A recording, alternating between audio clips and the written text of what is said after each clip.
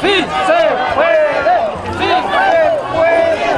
Today is for us. It's about standing up for worker rights. It's about standing up for human rights. And it's about uniting against the guy in the White House who our children are going to vote out of office. He- But I didn't realize the injustice in the school system against public employees. que hable hable con nosotros. If you're too passionate about the human race, they will come after you somehow, somewhere, somehow, and whenever it is, you better be ready.